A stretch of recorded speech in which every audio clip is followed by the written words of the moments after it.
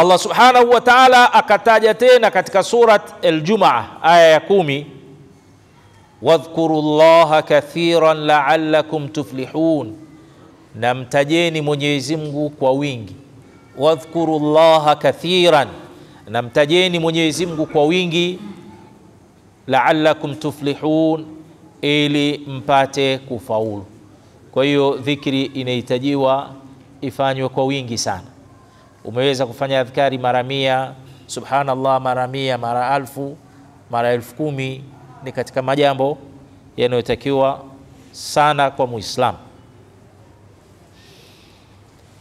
Lakini aya iliyopo katika surat Al-Ahzab aya ya 35, Mwenyezi Subhanahu wa Ta'ala anasema innal muslimina wal muslimat والمؤمنين والمؤمنات والقانتين والقانتات والصادقين والصادقات والصابرين والصابرات والخاشعين والخاشعات والمتصدقين والمتصدقات والصائمين والصائمات والحافظين فروجهم والحافظات والذاكرين الله كثيرا والذاكرات أعد الله لهم مغفرة وأجرا عظيما aya hii Mwenyezi Mungu Subhanahu wa Ta'ala ametaja mapote na makundi ya watu katika ibada tofauti,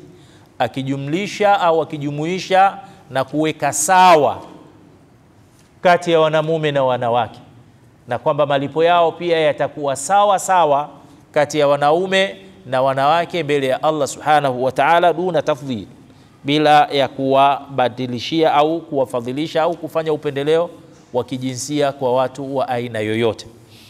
Anasema Allah Subhanahu wa Ta'ala, innal muslimina wal muslimat, hakika Waislamu wa kiume na Waislamu wa kike, walmuminina walmuminat, na waumini wa kiume na waumini wa kike Allah subhanahu wa ta'ala ametaja waislam na ametaja waumini. Kuonesha mumin na muislam ni vitu au watu wawili tofauti, ni watu wawili tofauti. Anaweza mtu akawa muislam lakini sio mumin, ila haiwezekani mtu akawa mumin alafu asiwe asiwe muislamu sawa sawa. Iman ni daraja ya juu, chini yake ndo kuna Uislamu. Muislamu ni yule aliyetamka shahada, ashhadu an la ilaha illa Allah wa ashhadu anna muhammadan rasulullah. Huyu ni muslim, lakini bado hajawa mumin.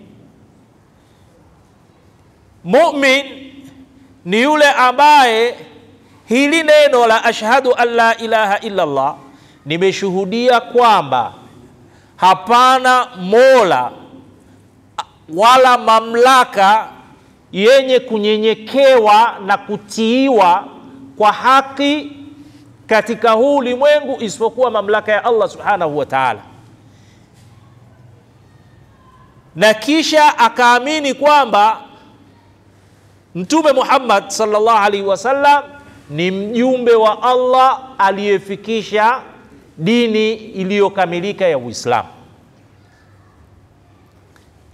Aliyetamka maneno haya akiyaingiza sasa katika mfumo wake wa maisha, hii ashhadu an la ilaha illa Allah, akiingiza katika maisha, ikawa neno alilolisema Mwenyezi Mungu Subhanahu wa Ta'ala, amri aliyoitoa Mwenyezi Mungu Subhanahu wa Ta'ala, anaitekeleza katika ulimwengu huu pasi na kutaka ridhaa ya mtu yoyote.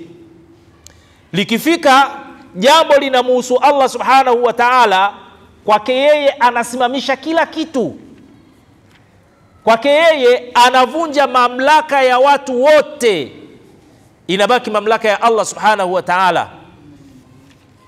Mtu wa namna hiyo anatoka katika ile daraja ya Uislamu, anapanda anaingia katika daraja ya, ya uumini.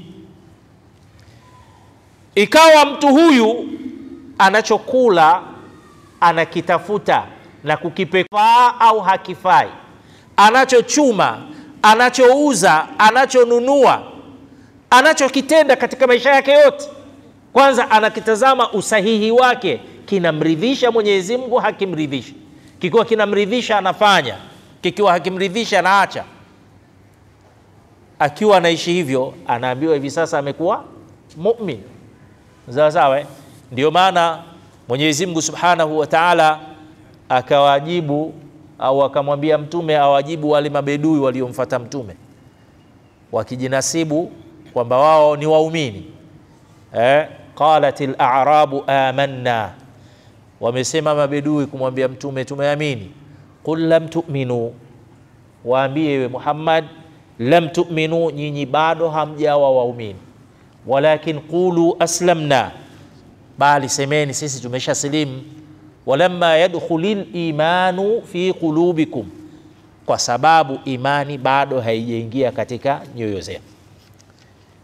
Imani ni matendo, kutenda, kuyaishi yale uliyoyatamka kwamba hapana mola apasaye kuabudiwa kwa haki isipokuwa Allah.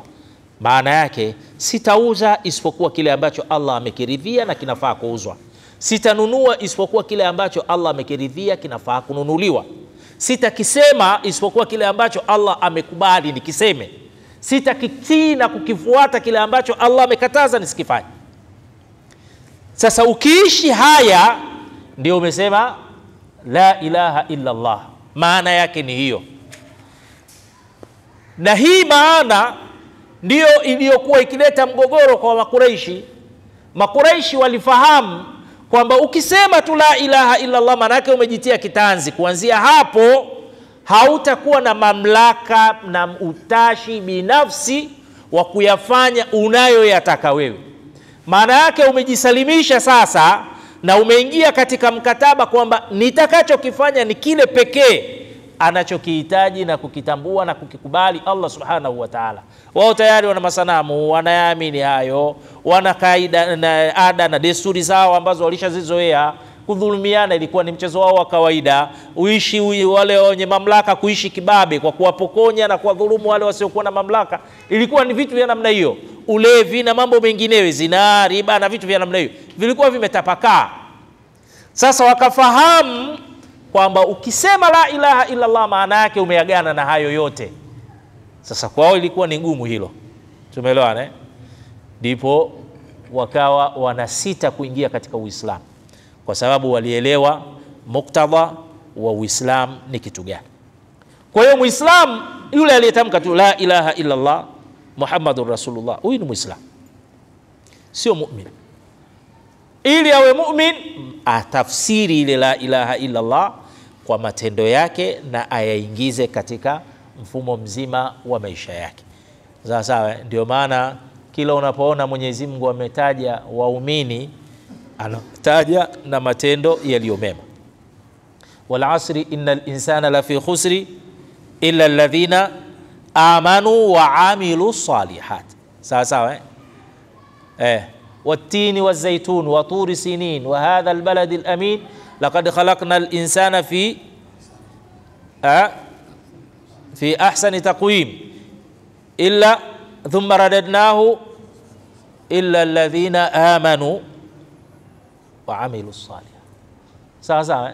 Kwa hiyo kila alipotaja Mwenyezi imani anaambatanisha na matendo yaliyokuwa mema, kwamba Uislamu imani ni matendo, vitendo vyako ndo vinakupeleka katika imani, lakini Uislamu ni kule kutamka la ilaha illallah Muhammad Rasulullah.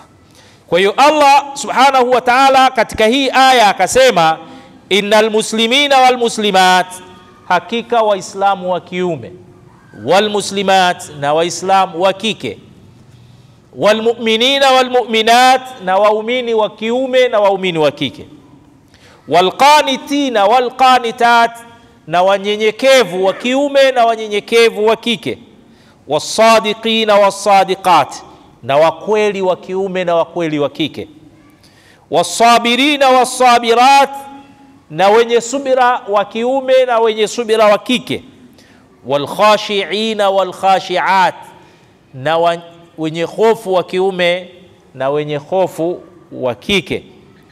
Walmutasaddiqina walmutasaddiqat watoa sadaka wa kiume na wa kike wasaimina wasaimat na wenye kufunga wa kiume na wa kike walhafidhina furujahum walhafidhat na wenye kuzihifadhi kuzitunza kuzichunga tupu zao wa kiume walhafidhat na wenye kuzihifadhi tupu zao wa kike wadhakirina allaha kathiran na wale wenye kumtaja mwenyezi mungu kwa wingi wa kiume wadhakirat na wenye kumtaja mwenyezi mungu kwa wingi wa kike wote hawa aadda llahu lahum maghfira.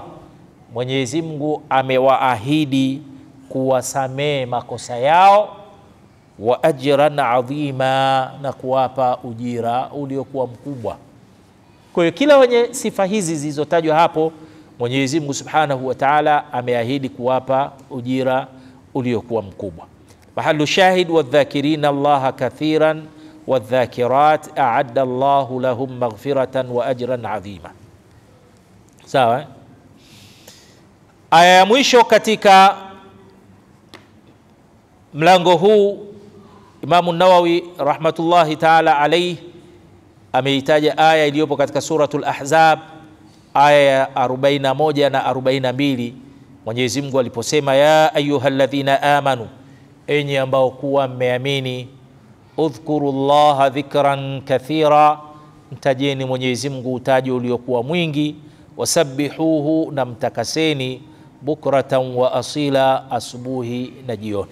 Aya hizi zote zinahimiza kusisitiza na kumtaka muislamu aishi katika mfumo wa kutaja jina la allah subhanahu wa taala katika vipindi vingi vya maisha yake katika huu ulimwengu. Tunamwomba allah subhanahu wa taala atujalie nasi tuwe ni katika hao wenye kumtaja mwenyezi mungu subhanahu wa taala kwa wingi